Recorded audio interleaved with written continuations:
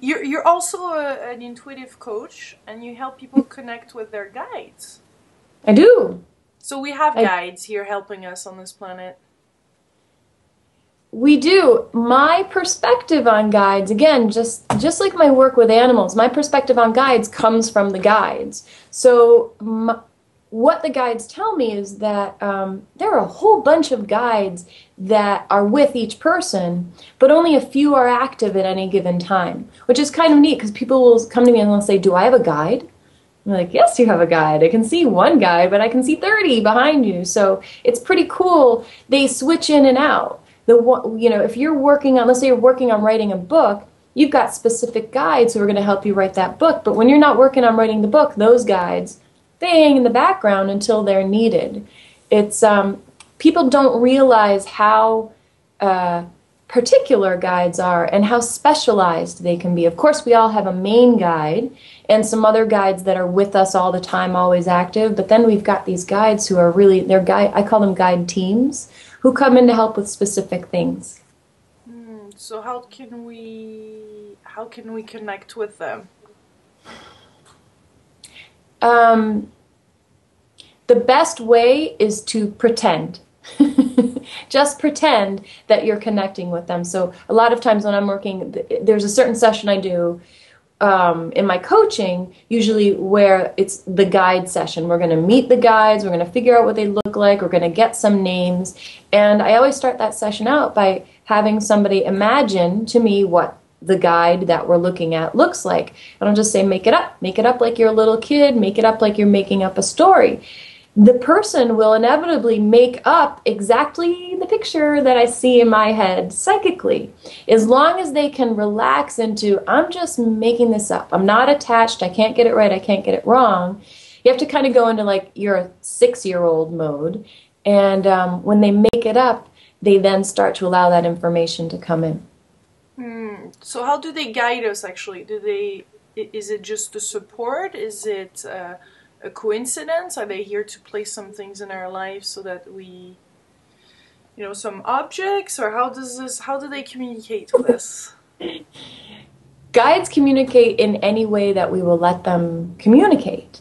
Um, I have a client I was working with just the other day, and she's been great. She's learned how to look for messages that her, her for signs that her guides are giving her. So, a four-leaf clover is a sign. Oh, I found a four-leaf clover. I know my guides are watching over me. I feel protected. Uh, oh, I see the number 11 again and again. This is my guides telling me, hey, you're safe. So, this client's gotten really good at looking for the signs. But her next step was actually she needs to start going in and asking her guides for things and receiving information back rather than just hey here's a sign of support and safety and love which are wonderful things but the guides can also give you specific like um, sentences and words and real information so they can uh, any way that you open up to say that they can give you a message, they will. But you have to say it's okay. So, this client that I'm talking about, we really worked for a little while the other day on it's time to go in and look for some information. We're not just going to be receiving signs anymore, it's time to get some detail. Mm. So we do have to ask more questions to them. We have Yes. to make them want to participate. Yeah, a lot of people are so excited to get the signs, to see the four leaf clover or the repeated numbers or the message in the fortune cookie, which really actually speaks to them, which is really cool. But there's so much more than the guides can do. They can actually um, manipulate things, but you have to ask them to do it. They can actually create things in your life for you if you ask. It's all about asking. Hoping is nice. You know, I'm hoping to hear from them, but really directly saying, hey, guides, I want this information. The other thing that people do is they think that when they call on their guides or when they speak with their guides, they have to do this like very special, cool prayer, you know, like that. And they don't. they really, um, I tell people to say, I'm now calling on my guides. Please be with me. You know, you don't have to do any, your guides are going to connect with you, whatever your intention is. You don't have, people psych themselves out. you know, and they think they have to do it in that cool, fancy way they saw in the Buddhist. You, you can do it. All you have to do is ask. So they in can your normal voice. Mm, so they can help also in relationship. For example, we want to meet a loved one, a Mhm. partner, our soulmate. We can just call on our guides. Yes, but someone may say, okay, I, I want to meet Mr. Right. Mhm. And that doesn't mean that then they say to the guides, I want to meet Mr. Right, bring him to me. That doesn't mean the guides are going to bring him to you in two days. What it means is the guides are going to get help you by pointing you in the right direction, giving you signs and messages, information, and people that help you bring yourself to a place where you're most receptive and open and able to receive the healthiest person for you. They're not just going to hand you a guy. They're going to make you do work on yourself so you can be in a great place to have a healthy relationship. Everybody thinks, but I asked my guides, I've been manifesting for a man for six months. Well, what were you also doing? Were you working on yourself? Were you looking at your patterns? Were you understanding your past relationships? So, um, yes, asking your guides for help in that way is awesome, but the help, it doesn't always look like what you want. so you can connect right now, for example, with my guides and your guides, and they can be. We can let them do the interview and the work. They already are. My guides are giving me information to say to you, and your guides are giving you information to say to me. So they're already doing the work. We're the translators. Ah, very, very interesting. Because I heard once that I had a guy that looked like a bear. There's a- Oh! this little bear behind my back. Would you see that? But a little short bear, A little short bear. kind of like a um. So it's actually Uh, an animal guy. There we go. So we're combining Yes. both of our, uh, both of your, uh, your talents. But that guide, if you if you can see that guy, did you see um one of the Star Warses, the old ones with the Ewoks? Yeah. That's what the guy looks like to me, a little Ewok, which is bear-like but little mini one. Have you seen that guy? No, no, no. I just I, No? I find it funny because apparently he's quite playful, so I like that. Do you like Star Wars? No, I've never watched that. All right. well, you have a little Ewoky like guy. I guess I guess Look how there's happy. I guess one of the Eh, what? well, one, one of the things about um, about guides is that they they appear to us in forms that help us work with them in the way they're supposed to work with us. So clearly, this guide, who now you're like, oh, little bear Ewoky, and it makes you laugh.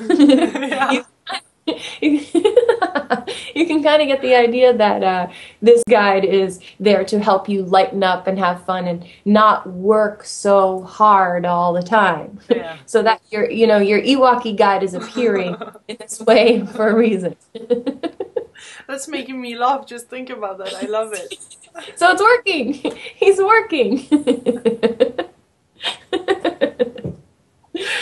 Oh, that's wonderful. So I do want to say one more thing though Yeah. about the guides. Um, this goes back to actually, it's kind of related to your Ewoky guide. Um, people think that their guides are going to have these super cool names like Esmeralda of the Forest. you know, you know what I mean? And they just what I find when I help somebody get the name of their guide, they end up with guide names like Mike and Bob. really? And it's not because they're a deceased loved one. The guides that we're talking about are guides who've never been embodied. And um, it just the name has to resonate with the person who the guide is guiding. And so the names end up being very common comfortable names. So then i'll hear someone say to me well i was talking to my guide rick the other day. And you know but it, i mean people it's just important not for people not to psych themselves out about that just go with whatever name What's Ewoky's uh, name? Well, it's interesting. I hear the name George. Does that mean anything to you? No. Um, when I heard the name George, I also got a visual of. Did you ever read the book Curious George? No. The- It's about a little monkey who is kind of hard to control and he's always getting away, but it's kind of funny. this guy, this is a funny guy you have here. Um, so I get George. Now you you may get the French version of George. George. Yeah, it may be George. so I have George the monkey and Ewoky the bear. there you go. yes. This is this Um, is fun.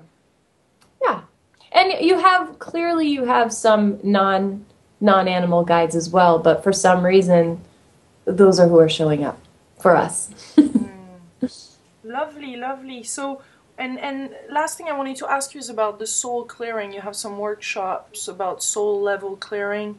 Can you? Yeah. Is there any techniques to actually uh, clear our energies that you can show us right now? Um, it's not soul clearing, but one of the easiest techniques I tell people to use is um, this one that the guides have me show people over and over. And it's basically when you want to bring your energy into your body. And I do it before I do an interview or before I go on stage. Um, and it's you imagine that above, you imagine there's a ghost of you. So there's a there's a physical body you and there's a ghost of you, like a see-through you.